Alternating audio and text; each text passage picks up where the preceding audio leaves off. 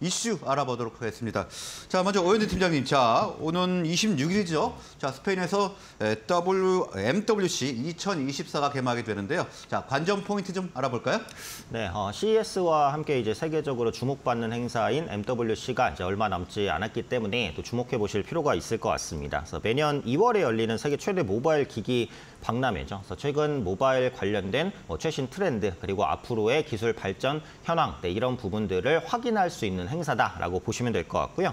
어, 5G라든지 뭐 AI 그리고 사물 인터넷이 주요 메인 테마로 선정이 됐습니다. 그래서 확장 현실을 실생활에 적용하기 위해서 뭐 5G 기술을 활용한다든지 뭐 생성형 AI 그리고 이것이 우리 일상에 어떤 변화를 주는지 그리고 2년 내에 세계 150억 개의 이제 사물 인터넷 기기가 서로 연결될 것으로 전망이 되거든요. 그래서 이를 위해서 필요한 네트워크 솔루션 기술이라든지 네, 이런 부분에 있어서 어, 발표가 활발하게 진행될 것으로 보여지고 있고요. 어, connected 산업 관련된 세미나도 개최가 됩니다. smart mobility 분야의 connected car 성장 관련된 세미나 그리고 어, 핀테크 사기가 앞으로 어, 또 주요 이슈로 부각될 가능성이 높거든요. 그래서 핀테크 사기를 어떻게 방지할 수 있을 것인지 이런 정보 보안에 대한 이슈들도 꾸준하게 논의될 것으로 보여지기 때문에 정보 보안 관련주가 움직일 수 있다라는 부분도 염두에 두시면 좋을 것 같고 또 초연결 사회의 이제 명암에 대한 이슈가 계속해서 어, 조명받을 가능성이 높다라고 어, 보여집니다. 그래서 MWC 관련해서 이제 주목받을 수 있는 섹터는 상당히 많기는 한데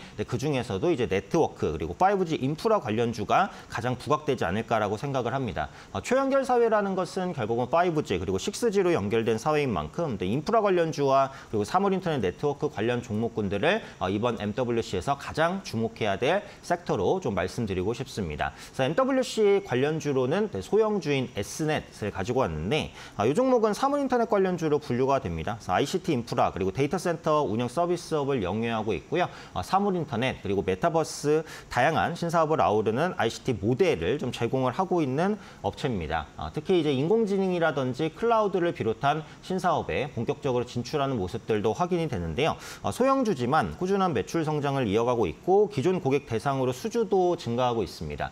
신사업을 계속해서 강화하고 있는 중이고요. 아, 미국 법인 투자 등에 대한 성과가 올해부터 본격화될 것으로 보여집니다. 아, 최근에는 이제 주식 배당도 또 진행을 어, 했습니다. 그래서 주주 환원에 대한 의지를 꾸준하게 표명하고 있는 기업이라고 체크해 보실 수 있겠고요. 또 미국의 엔비디아와 AI 인프라 사업 협력을 진행을 하고 있죠. 그래서 에스넷 그룹의 관계사인 굿어스가 엔비디아와 파트너십을 체결해서 어, enterprise AI를 위한 플랫폼을 좀 제공을 하고 있습니다. 그래서 대기업과의 협업들 앞으로도 꾸준히 증가할 가능성이 높다라고 보기 때문에 이 부분도 투자 포인트 중에 하나로 좀 말씀드리고 싶습니다. 기술적인 흐름을 보면 굉장히 장기적인 하락을 겪었어요. 어, 2022년 고점을 찍고 꾸준하게 우하향하는 추세였는데 최근에 이 하락 추세를 벗겨냈습니다. 그래서 지금은 이제 저점을 꾸준하게 높여나가는 구간이기 때문에 어, 기술적인 위치로도 접근하기 괜찮다라고 생각이 됩니다. 그래서 부담 없는 위치라고 보고요. 현재 주가 4,925원 네, 전후로 어, 매수 가능하다고 보겠고 네, 목표가는 5,500원 네, 직전 고점까지 한번 노려보고요. 어, 손절가는 4,600원으로 설정해 보도록 하겠습니다. 네, MWC와 관련해서 관심점으로 S넷 알아봤고요. AI와 클라우드 등 신사업 확대하는 점 주목을 하고 있습니다. 다 목표가는 5,500원 제시를 해주셨습니다. 자, 다음은 김덕호 대표님. 아, 최근에 지정학적 리스크가 계속 확대가 되면서 어, 방산주에 대한 관심이 높아지고 있습니다. 어떻게 접근해 좋을까요? 네, 말씀하셨던 것처럼 사실상 전 세계적으로 지정학적 위치, 아, 지정학적인 리스크가 굉장히 강해지고 있습니다. 이미 러시아와 우크라이나 간의 장기전과 그리고 이제 중동 지역 내에서의 내전들 그리고 더불어서 북한에서의 어떤 외교적 위협들이 굉장히 강화가 되고 있는 사실인데요. 어, 특히 이제 미국 같은 경우에는 이번 미국 대선에 대해서 중국 정부의 어, 흔히 말하는 댓글 부대에 대한 개입의 가능성을 중요하게 놓고 있습니다. 우리나라 같은 경우에도 4월에 총선이 예정이 되어 있죠. 그러다 보니까 사실 국정원을 비롯해서 각국 정보기관에서는 어, 이러한 어떤 언론에 대한 부분들의 통제를 굉장히 위협적으로 느끼고 있는 것은 사실입니다. 어, 다만 어, 이런 언론과 언론을 비롯해서 이제 온라인 상의 보안과 그리고 방, 어, 방산 관련 부분이라면 우리가 실물 경제에서의 방산 부분의 시장들도 굉장히 주목을 할 필요가 있습니다. 어, 우선은 트럼프 전 저- 아, 트럼프 전 대통령이 이번에 이제 나토 관련에 대해서 굉장히 부정적 언급을 한 바 있습니다. 사실상 역할이 없다라고 이제 지목을 한 바 있는데요.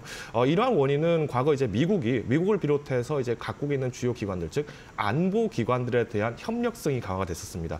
어, 특히 이제 나토라든가 유엔과 같은 주요 기관들의 역량들이 어, 최근 우크라이나 전쟁을 시작으로 해서 사실상 역량이 굉장히 위축이 됐었다라는 지적이 많이 되었었죠. 그러다 보니까 이 각국에서는 재무장에 대한 의혹, 아, 재무장에 대한 어, 혁신 주도를 굉장히 강하게 하고 있습니다. 어, 우리나라 같은 경우에도 마찬가지로 어, 이러한 기회를 포착을 하게 되면서 어, 해외 수출을 본격적으로 진행을 하고 있는데요. 어, 문제는 우리나라에서의 기- 각국 기업들의 수출뿐만이 아닙니다. 어, 자국 내에서 즉 우리나라에 바로 어, 직접적인 위협을 가하고 있는 북한 같은 경우에도 해외 수출을 공격적으로 진행을 하고 있습니다. 어, 특히 이제 북한 같은 경우에는 최근에 경제 체제에 대한 경제적 압박을 탈피하기 위해서 러시아에 방문을 하고 또 여기에 대한 자금 조달의 확보 확보를 위해서 어, 굉장히 많은 어, 방문을 하고 있는 사실인데요. 오늘 이제 북한 대표단 같은 경우에도 러시아 하원을 방문을 할 예정이라고 합니다. 어, 지난달 이제 최선희 북한 외무상이 이제 방문한 것에 더불어서 경제적 제재에 대한 부분들에서의 활성화를 다시 한번 노리고 있지 않느냐라는 지적이 나오고 있는데요. 어, 특히 이제 북한은 이제 오- 이번 주 금요일 날 진행이 될즉 어, 김정일 구- 어, 김정일 국방위원장의 생일인 광명성절 관련된 부분들에서 또 이목을 끌 것으로 전망을 하고 있습니다.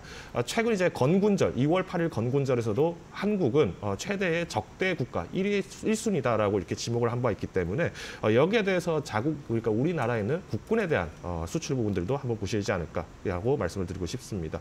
어, 더불어서 이제 지금 현재 정부에서는 세계 방산 4위로 올라설 준비를 하자라고 이제 강력하게 어, 현 정부에서는 지지를 하고 있습니다 만은 이 발목을 잡는 것이 바로 수출입 은행법입니다. 어, 최근 들어서 이제 방산 무기에 대한 부분의 수출들이 활성화되면서 수주 부분들은 굉장히 공격적으로 받은 것은 사실입니다만은 현재 수출입 은행에 대한 자본량 자본 자체가 15조밖에 되지 않습니다. 그러다 보니까 사실상 좋은 계약을 따놓고도 실질적인 수출이 이루어지기까지 계속 발목을 잡고 있는 상황인데요.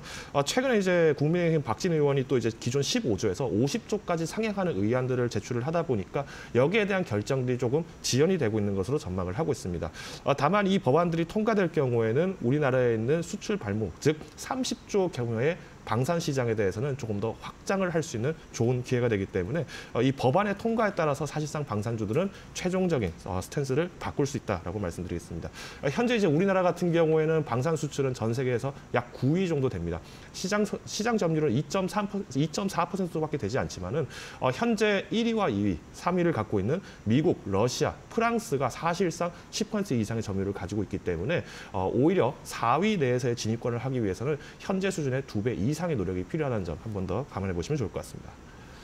네, 지금 방산주 지정학적 리스크와 관련한 여러 모멘텀이 작용을 하면서 주목을 받고 있는데요. 자, 관련해서 관심도 좀 알아볼까요? 네, 저는 어, 가장 눈에 뜨는 기업이라고 하면은 아무래도 S&T 모티브를 좀 소개를 드리고 싶습니다. 어, 사실 이제 총기 명가라고 얘기를 할 정도로 굉장히 유명한 기업이죠. 이번 이제 지난 8일에 있었던 세계방산 전시회도 참여를 해서 중동 시장을 공략하기 위한 무기로서 어, K13 기관총 그리고 120mm 비격 박격포 등 굉장히 많은 제품들을 선보이고 있습니다. 어, 특히 이제 최근 들어서 국방에서 어, 국군에서도 자주 활용하고 있는 비격 박격포 같은 경우에는 어, 기존에 이제 어, 보병들이 이제 운용하던 박격포에 대비했을 때는 안정성 그리고 자동 사격 장치 등 굉장히 좋은 성능들을 가지고 있기 때문에 오히려 해외 수출보다도 국군의 재무장에 굉장히 초점을 좀 많이 두고 있다라고 소개를 드리고 싶습니다. 물론 S&T 모티브가 지난 2023년까지도 방산 수출에 대한 물량보다는 사실상 자동차라든가 반도체 장비 관련으로서 실적들이 좀 더 견인됐었습니다. 어, 여기에 조금 더 훈풍을 부는 소식이라면은 이번에 어플라이드 머티리얼즈가 우수 공급 업체로 예, 선정을 하게 되면서 전방 수요를 같이 받을 것으로 예상을 하고 있습니다.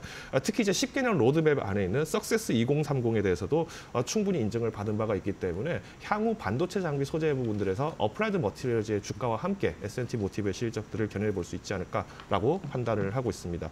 어, 최근 이제 주가가 굉장히 높게 올라갔던 지난 8월 같은 경우에는 저위험 권총 관련 수혜로 급등을 했지만 어, 실질적인 수혜 물량들이 적다 보니까 여기에 대해서 매물이 과감하게 나오지 않았나 라고 예상을 하고 있는데요. 어, 목표가는 5만 연중 5만 4천 원까지 한 번 더 높여보시자 어, 말씀을 드리고 싶습니다. 손절가는 3만 8천 원 제시드리겠습니다. 네, 자 관심주는 오늘 방산주 중에서 S&T 모티브 선정을 해주셨고요. 목표가 5만 4천 원 제시를 해주셨습니다. 자, 오늘 말씀은 여기까지 듣도록 하겠습니다. 두 분 수고하셨습니다.